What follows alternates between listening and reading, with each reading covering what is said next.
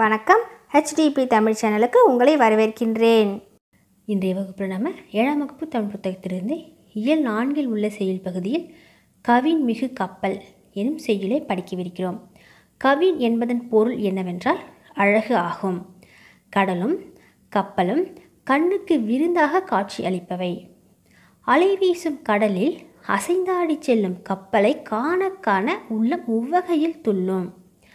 அச்சம் தரும் கடலில் அஞ்சாது கப்பல் ஓட்டியவர் நம்முடைய தமிழர். காற்றின் துணை கொண்டு கப்பலை செலுத்திய நம் முன்னோரின் திறத்தை சங்க பாடலின் வழி அறியவிருக்கிறோம். இந்த பாடலின் ஆசிரியர் மருதன் இளநாகனார்.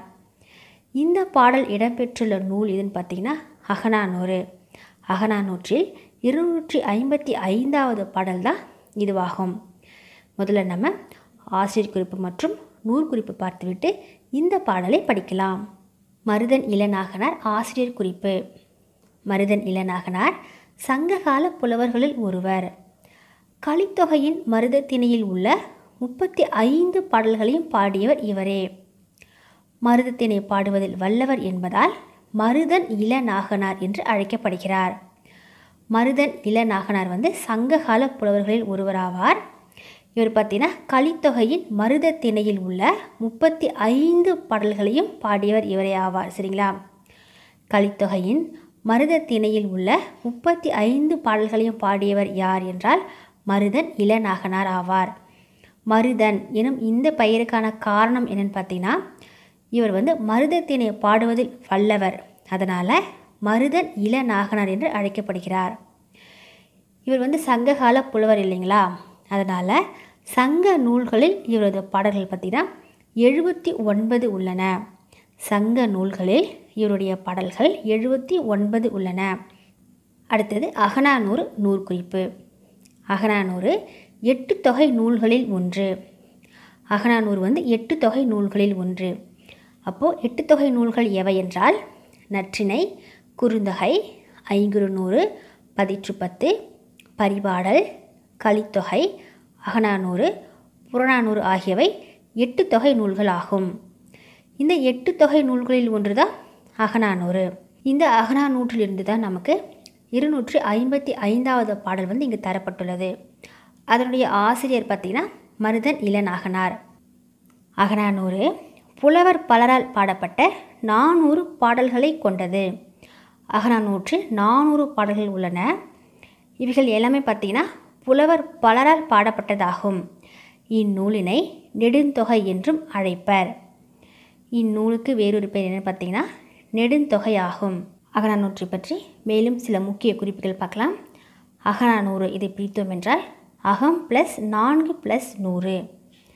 அகநானூறு எட்டு தொகை நூல்களில் ஒன்று.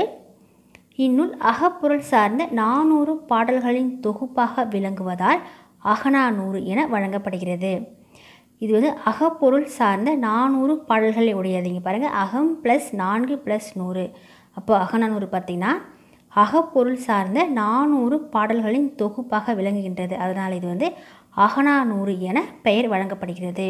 இதில் உள்ள பாடல்கள் பல்வேறு காலங்களில் வாழ்ந்த பல்வேறு புலவர்களால் பாடிய பாடல்களின் தொகுப்பாகும். இதனை தொகுத்தவர் மதுரை உப்பூரிக்குடி கிழார் மகனார் உருத்திர சன்மானார் ஆவார். இந்நூலை தொகுப்பித்தவர் பாண்டியன் உக்கிர பெருவழுதி ஆவார். அகநானூற்றை தொகுத்தவர் பெயர் என்னன்னு பார்த்தீங்கன்னா மதுரை உப்புரிக்குடி கிழார் மகனார் உருத்திர சன்மானார். சில டைம்ஸில் இந்த பெயர் மட்டும் வைத்து கேட்பாங்க அல்லது இதையும் சேர்த்து கேட்பாங்க. சரிங்களா? ரெண்டுத்தையுமே படிச்சுக்கோங்க. இவர் வந்து தொகுத்தவர். இதனை தொகுப்பித்தவர் யார் என்றால் பாண்டியன் உக்கிர பெருவழுதி ஆவார். அடுத்து இந்நூல் பதிமூன்று அடி சிற்றலையும் முப்பத்தி ஓரு அடி பேரலையும் கொண்ட நீண்ட பாடல்களை கொண்டிருப்பதால் இதனை நெடுந்தொகை என்றும் கூறுவர். அகநானூரில் பார்த்திங்கன்னா பதிமூன்று அடி சிற்றலையும் முப்பத்தி ஓரு அடி பேரலையும் கொண்ட நீண்ட பாடல்களை உடையது. அதனால தான் இதுக்கு வந்து நெடுந்தொகை எனும் பெயர் வந்தது. சரிங்களா? அகநானூற்று பாடல்கள் எத்தனை அடி சிற்றலையும் எத்தனை அடி பேரலையும் கொண்டது என்றால் பதிமூன்று அடி சிற்றலையும் முப்பத்தி ஓரு அடி பேரலையும் கொண்டது. அடுத்தது படிக்கலாம். அகனானூறு மூன்று பகுதிகளாக உள்ளது. முதல் நூற்றி இருபது பாட்டுகள் களிற்றியானை நிறை எனப்படும். அடுத்த நூற்றி எண்பது பாட்டுகள் மணிமிடை பவளம் எனப்படும். கடைசி நூறு பாட்டுகள் நித்தில கோவை எனப்படும். அகனானூற்றில் உள்ள பாடல்கள் வந்து மூன்று பகுதிகளாக உள்ளது. முதல் நூற்றி இருபது பாட்டுகள் எவ்வாறு அழைக்கப்படுகின்றன என்றால் களிற்றியானை நிறை என அழைக்கப்படுகின்றன. அடுத்து பாருங்கள் முதல் நூற்றி இருபது பாடல்களுக்கு அடுத்து வரும் நூற்றி எண்பது பாட்டுகள் எவ்வாறு அழைக்கப்படுகின்றன என்றால் மணிமிடை பவளம் என்று அழைக்கப்படுகின்றன. கடைசி நூறு பாட்டுகள் எவ்வாறு அழைக்கப்படுகின்றன என்றால் நித்தில கோவை என்று அழைக்கப்படுகின்றன. அடுத்து அகநானூற்றில் உள்ள பாடல்கள் எவ்வாறு தொகுக்கப்பட்டுள்ளன என்பதை பார்க்கலாம். அகநானூற்றில் எத்தனை பாடல்கள் உள்ளன? நானூறு பாடல்கள் உள்ளன. ஒன்று இரண்டு மூன்று நான்கு ஐந்து அதுபோல் நானூறு பாடல்கள் வந்து அகநானூற்றில் உள்ளது. இப்போது ஒன்று மூன்று ஐந்து என வரும் பாடல்கள் வந்து பாலைத்திணை பாடல்கள் ஆகும்.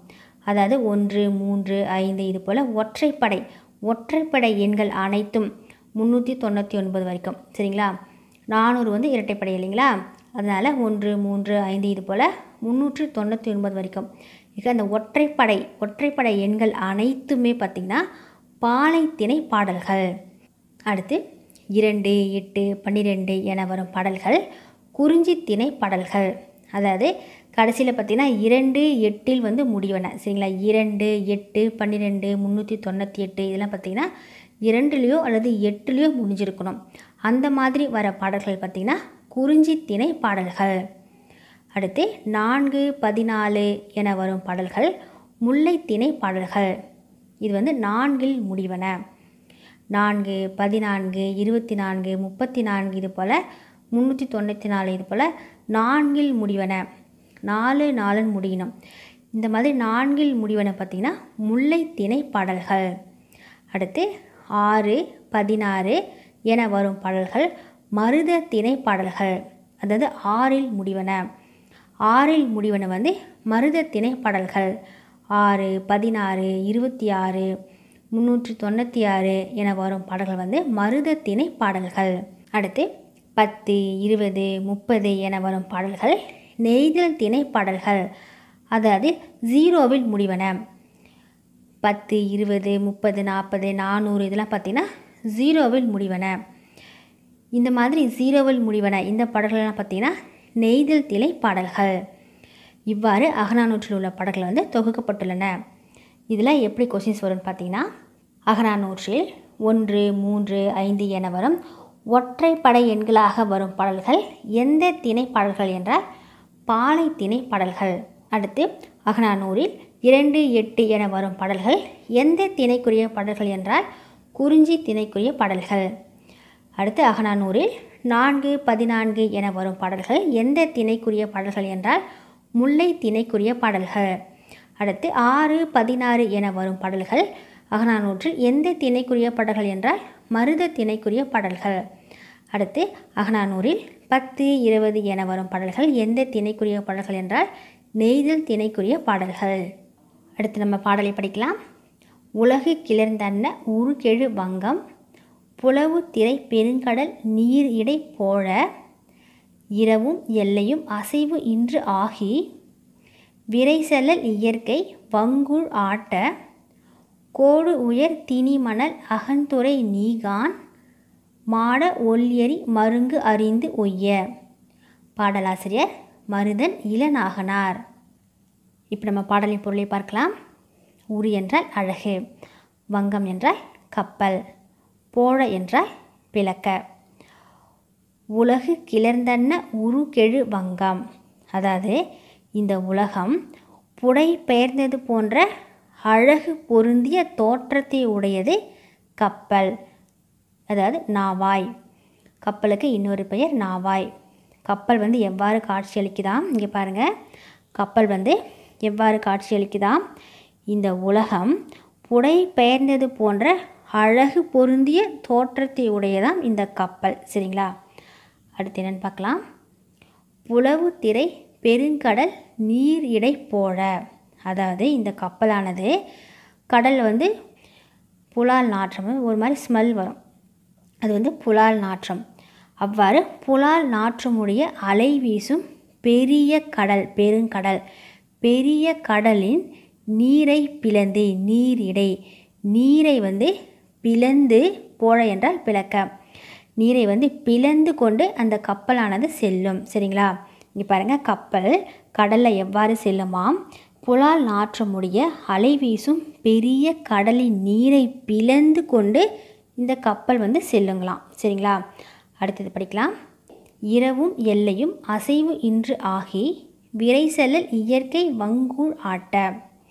வங்கூழ் என்றால் காற்று. எல் என்றால் பகல்.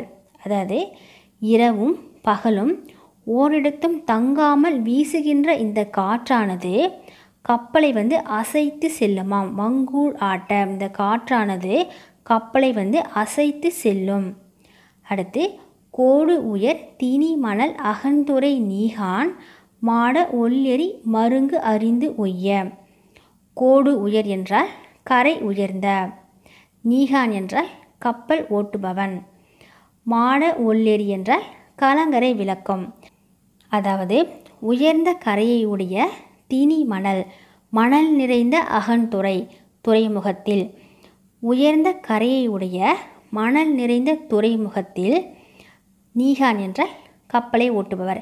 கப்பலை ஓட்டுபவர் வந்து எவ்வாறு கப்பலை செலுத்துவார் என்றால் மாட ஒல் எரி அதாவது கலங்கரை விளக்கத்தின் ஒளியால் திசை அறிந்து மருங்கு அறிந்து உய்ய திசை அறிந்து கப்பலை ஓட்டுபவர் வந்து கப்பலை செலுத்துவான். அதாவது உலகம் புடை பெயர்ந்தது போன்ற அழகு பொருந்திய தோற்றத்தை உடைய கப்பல் புலால் நாற்றமுடைய அலை வீசும் பெரிய கடலின் நீரை பிளந்து கொண்டு செல்லும். இரவும் பகலும் ஓரிடத்தும் தங்காமல் வீசுகின்ற காற்றானது நாவாயை அசைத்து செல்லும். அதாவது கப்பலை அசைத்து செல்லும்.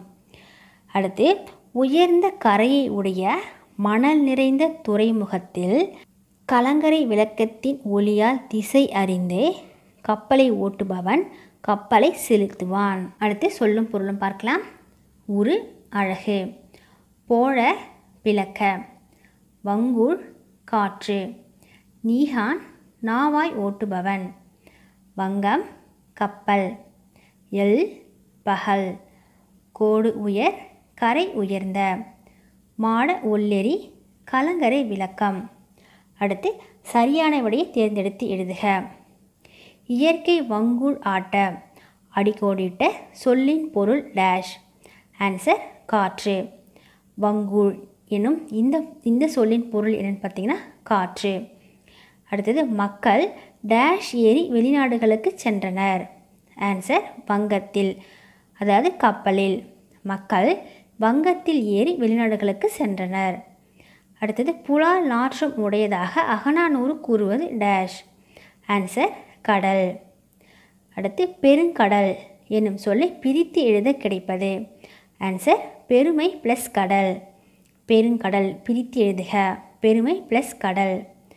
அடுத்து இன்று ப்ளஸ் ஆகி. என்பதனை சேர்த்து எழுத கிடைக்கும் சொல் ஆன்சர் இன்றாகி. இன்று ப்ளஸ் ஆகி சேர்த்து எழுதுக. ஆன்சர் இன்றாகி. அடுத்து எதுகை இடம்பெறாத இணை டேஷ் இதுக்கான ஆன்சர் பார்த்திங்கன்னா இரவு இயற்கை. எதுகைனா இரண்டாம் எழுத்து ஒன்று போல் வர வேண்டும். இதெல்லாம் பாருங்கள் வங்கம் சங்கம். இரண்டாவது எழுத்து இங்கு வந்திருக்கு. அடுத்து அசைவு இசைவு இரண்டாவது எழுத்து சை வந்திருக்கு. உலகு புலவு.